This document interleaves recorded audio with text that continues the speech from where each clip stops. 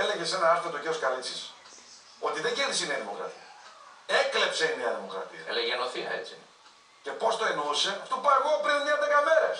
Για επιδόματα. Με τα επιδόματα. Με τα επιδόματα νόθευσε το εκλογικό αποτέλεσμα. Ναι, αλλά τα επιδόματα δεν είναι επιδόματα, κύριε Σπινό. Είναι δανεικά. Όταν κρύβει η Νέα Δημοκρατία, ο κύριος Μητσοτάκης, και δεν το ξέρει αυτός που μας βλέπει, κύριε Σπίνο, ότι τα 500 ευρώ που πήρε, ή τα 1000 ή τα 2000 θα τα πληρώσει τα 500 ευρώ 800 πίσω. Τα 1000, 1900, 2000 και τα 2000, 4000 πίσω, γιατί είναι δανεικά. Φαντάζομαι ότι δεν θα ικανοποιηθεί πολύ. Δεν το λένε όμως, διότι από το Ταμείο Ανάκαμψη, κύριε Σπίνο μου, το ένα τέτοιο λίγο παραπάνω είναι δάνεια. Και σήμερα στην ΕΡΤ στην ΕΡΤ βρισκόμουν, ο κ. Παπαγέννη, ο οποίος ήταν στο γραφείο τύπου της Νέας Δημοκρατίας, νομίζετε έχει να κάνει με κανένα χαζό, κανένα θέλει; Πραγματικά, δηλαδή εγώ σα γελάω μαζί τους. Δεν γελάω γιατί τους θεωρώ ρε παιδί μου υποδιέστερου, αλλά έχουν να κάνουν με έναν άνθρωπο που διαβάζει, γνωρίζει, ξέρει. Του λέω ότι είναι δάνεια και μου λέει μα είναι χαμηλό το επιτόκιο, 0,35. Τι απέφυγε να μου πει, είναι 0,35 επί του κανονικού επιτοκίου επάνω. Διότι πληρώνεις πρώτα Euribor και μετά πηγαίνεις στο επιτόκιο. Δηλαδή το Euribor είναι 3,40, συν 0,35, 3,75, 3,80 κύριε Σπίνο. Ξέρετε διεθνώς ότι στο 4,80 δεν μπορείς να δανειστείς πλέον είσαι fail state; Δηλαδή πληρώνουμε 4,80% επιτόκιο. Και όταν είναι δισεκατομμύρια τα λεφτά που δανείζομαι, είναι πολύ, πολύ μεγάλος ο τόκο. Αυτά δεν καταλαβαίνει ο Έλληνας. Γιατί προσαυξάνονται κάθε χρόνο. Δεν τα πληρώνεις του χρόνου. Τα μεταφέρεις μετά από 20 χρόνια. Ναι, αλλά τα 10 ευρώ θα σου γίνουν 18-20 να πληρώσεις. 30, 35. Έτσι πτωχεύσαμε. Γι' αυτό σας λέω κύριε Σπίνο μου, πραγματικά απορώ ώρες ώρες με τον Έλληνα πολίτη που δεν καταλαβαίνει ότι τίποτα δεν χαρίζεται. Όλα, θα το πω ευθέως, κατακτώνται με δουλειά. Με πολλή δουλειά. Με πάρα πολλή δουλειά. Να ρωτήσω κάτι κύριε Πρόεδρε. Και να σου πω και κάτι. Παρακαλώ, παρακαλώ. Εδώ συγγνώμη, θα πω κάτι που είπε ο Γκάντι. Τον οποίο τον έχω διαβάσει, τον έχω μελετήσει. Θυμίζει λίγο Σοκράτη, βέβαια κάτι άποψη μου δεν συγκρίνει το Σοκράτη με τον Γκάντι, αλλά θα πω κάτι. Περπατούσε στον δρόμο ο Γκάντι, είναι όπως είναι η ελληνική λύση, έτσι είμαστε κι εμείς. Και όλοι τον επιδοκίμαζαν. Όλοι του λέγανε, τα λες καλά και μπράβο και αυτό και έχετε και μια κυρία, του λέει, τα λες πάρα πολύ καλά, είμαι ερωτευμένη μαζί σου, θέλω πραγματικά να σε αγκαλιάσω, να σε σφίξω, να σε στηρίξω. Και του λέει ο Γκάντι, άσε με, εγώ είμαι άσχημος, λέει, γιατί είχε μια κοψιά περίεργη. Δεν στο αδερφό μου είναι πιο ωραία από μένα. Και γυρίζει η γυναίκα και κοιτάει πίσω να δει. Και λέει, μα δεν βλέπω κανένα. Δεν υπήρχε κανένας. Γι' αυτό ακριβώς επειδή έψαξε να βρεις τον πιο όμορφο από μένα, δεν είμαι όμορφος εγώ. Έτσι είναι και λίγοι χαμογελάτε κύριε Σπινό. Όλοι μας αγαπάνε.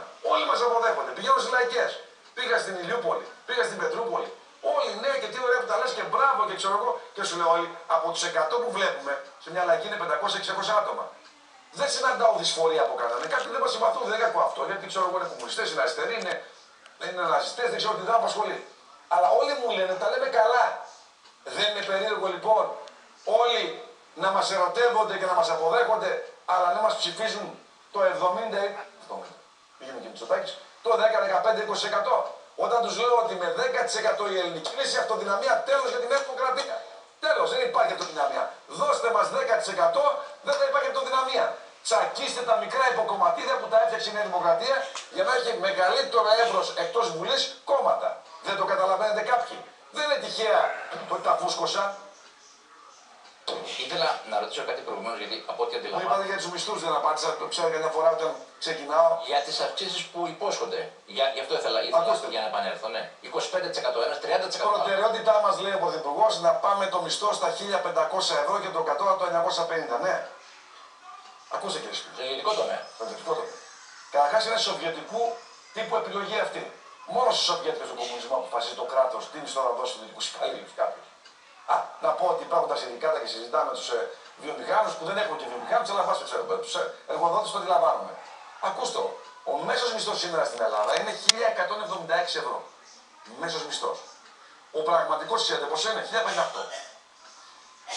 Αν λοιπόν συνυπολογίσουμε τον πληθωρισμό 10%, τα νίκια, τα τρόφιμα, ξέρετε πόσο παίρνει ο Έλληνας, ούτε 100 ευρώ. Αν παίρνει χιλιάρικο, ούτε 100 ευρώ. Και εγώ ρωτώ τώρα λοιπόν, θέλει να αυξήσει 40% τον μισθό ο κ. Τζοτάκης. Εγώ να το δεχτώ αυτό. Ρωτάει τον επιχειρηματία που θα τα βρει τα λεφτά αυτά για να τα δώσει. Όχι ρε. Από τη στιγμή που δεν υπάρχει παραγωγή πλούτου και ο επιχειρηματίας δεν μπορεί να βγει οικονομικά. Ρωτάω. Δεν μας λέει. Απλά λέει ψέματα. Ενώ εμείς τι λέμε; Μπορούμε να δώσουμε και 1500 και 2000 μπορούμε να δώσουμε εμείς τους τέτοιους. Γίνεται. Αλλά θέλει σχέδιο και πρόγραμμα. Σας είπα για τα 200 εκατομμύρια που μπορώ να βρω ανά πάσα ώρα και στιγμή από τις ελευτικές ζώνες. Μπορώ να σας πω που μπορούμε να βρούμε 5 δισεκατομμύρια ευρώ αυτό το πρωί. 5 δις, όπως το λέω. Συν ένα δις και κάτι που πω παραπάνω από ανεξάρτητες αρχές και από τα τροπτικά που τρώνε τη χώρα. Όχι. Θα πάω να στήσω τρία αντιδροπηλικά στο λακωνικό κόλπο. Στην είσοδο. Για να μην περνάνε τα δεξαμενόπλαια των φίλων εφοπλιστών τη Νέα Δημοκρατία, του Πασό και του ΣΥΡΙΖΑ. Γιατί εκεί κάνουν μεταγγίσει. Και όταν κάνεις μια μετάγγιση του πετρελαίου που έρχεται από τη Ρωσία σε πολύ χαμηλή τιμή και είναι αφορολόγητο και είναι αδασμολόγητο, το πουλάς και κερδίζεις εσύ 300% πάνω της αξίας του ο εφοπλισταράς. Και είσαι εφοπλιστής με λάμδα ήττα, για να ξέρουμε τι λέμε. Δεν είναι με λάμδα γιώτα. Στείλω τα διδοπηλικά εκεί και δεν περνάει κουνούπι. Πώς θα το πουλήσει το πετρέλαιο μετά. Είναι 5 δισεκατομμύρια ευρώ η φορά αποφύγη, ξέρετε. Εκεί φεύγει το χρήμα. Με 5 δισεκατομμύρια τι κάνει, αγαπητέ μου κύριε Σπίνο. Φέρνεις πάνω κάτω την Ελλάδα τον επόμενο χρόνο με το πρωτογενή τομέα. Γιατί όταν επενδύεις ένα ευρώ στο πρωτογενή τομέα, θα το λέω, το ξαναλέω, έχει υπεραξία 5 και 6 ευρώ πίσω. Αν βάλω 5 δις, θα πάρω επί 6, 30 δις το πρώτο χρόνο. Άντε, θα πάρω 20 δις. Από τα 20 δις μπορώ να δώσω και μισθού παραπάνω. Μπορώ να δώσω και συντάξεις. Μπορώ να δώσω και λεφτά. Και δεν δανείζομαι. Αλλά πού να χτυπήσεις τα δεξαμενόπλαια των εφοπλιστών. Δεν πάει έτσι, αφού και αυτά παίρνουν από εκεί. Πολλοί πολιτικοί είναι συνεργάτες εφοπλιστών. Συνέτεροι εφοπλιστών. Αλλά είπαμε. Είναι πράγματα που μόνο η ελληνική λύση μπορεί να πει. Κανένας άλλος. Σας απέδειξε αυτό εδώ. Εγώ με τον κύριο Παρτιδογιάννη δεν έχω τίποτα. Αλλά αυτό που βλέπετε εδώ, γραμμή τα κέρδη, πώς δεκαπλασιάστηκαν ένα δισεκατομμύριο ευρώ. Από τι ξέρετε, η Motorola, η εταιρεία του. Από τι. Πείτε μου εσείς. Πείτε μου πώς τα κέρδη του, δεν μιλώ για τζίρους τώρα, πώ αυξήθηκαν. Να πω εγώ, κύριε Σπίνα. Από τα καύσιμα, τον ειδικό φόρο τον ακριβό, αλλά κυριότερα και από ότι έχει εταιρείες παροχή ενέργειας και ανεμογεννήτριες. Έχει τα πάντα και φωτοβολταϊκά. Όπως όλοι οι εφοπλιστές, όλοι οι άνθρωποι ασχολούνται με αυτά.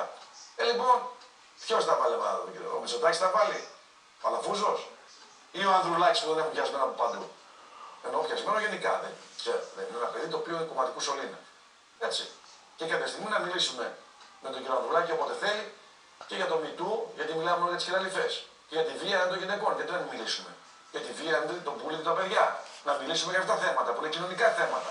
Ζητήματα που να συζητήσουμε όλοι μαζί. Γιατί το είδα κανένα φορές να μιλάει για τις χειραλιφέ τη δικές μου, το επάγγελμά μου. Ο ανεπάγγελτος έχει άποψη για μένα. Ο άσχετος πριν την οικονομία. Ο τύπος που βγήκε στοιχείο και είπε ότι χρειαζόμαστε να φέρουμε και άλλους Πακιστανούς και Αφγανούς να γεμίσουμε την Ελλάδα, κύριε Σπίνο. Έτσι είπε.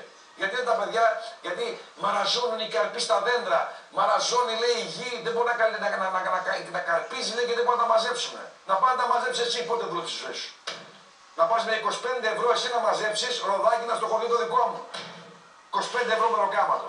Ποιος θα πάει να δουλέψει, ρε παιδιά; Στέλνει το παιδάκι του Αδοβλάκη ή το ανιψάκι του εκεί. Ε, δεν το στέλνει. Κορόιδο είναι.